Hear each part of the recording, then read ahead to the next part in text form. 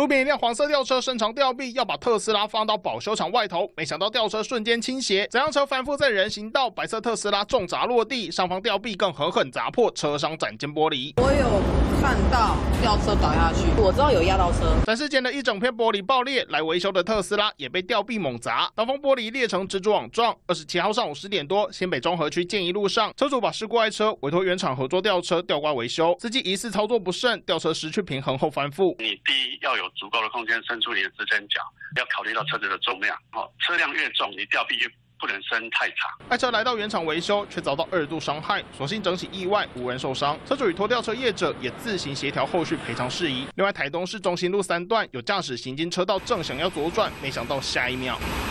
黑色轿车无预警冲出，操撞后失控滑行，差点撞上对向白色轿车。碰撞瞬间，整辆车剧烈晃动，车头零件喷飞。还好房子里面没有住人。警方初步了解，肇事驾驶竟然是一名无照的高中生，他称父母出国偷开家里的车酿祸。住家和店家大概怎么也想不到，光天化日会被车撞爆。借杨东胜、陈冠新北、台东报道。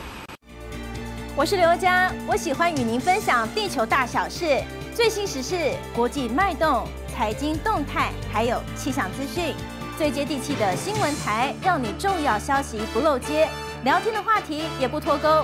当然，更多新闻，请锁定中视的 YouTube 频道，记得按赞、订阅、分享，还要开启小铃铛哦。